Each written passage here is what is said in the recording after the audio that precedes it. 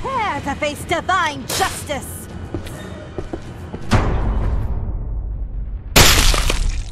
The next time you disobey me, I will hit you harder.